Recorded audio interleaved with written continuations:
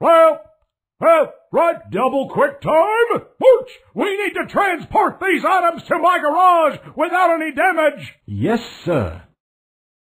Ganto! You clumsy ox!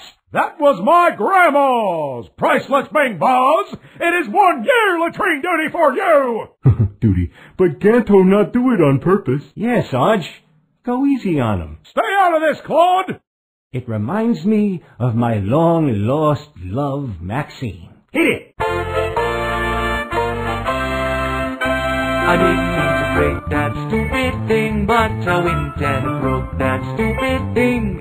This is the story about that thing. That's why I have no wedding ring. I was getting up one morning to go to the banana pie parade. And I put on my uh, favorite brand of a dapper chip pomade.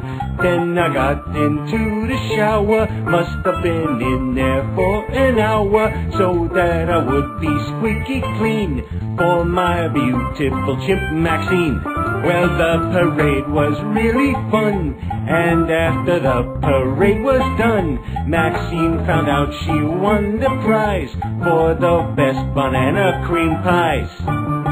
She showed me the trophy and was dancing around, so I gave her a great big squeeze.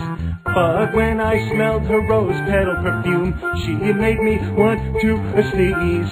Oh, the sneeze blew me out of air. It blew Maxine's trophy in the air. The trophy fell down and then it broke. Maxine got mad and that's no joke.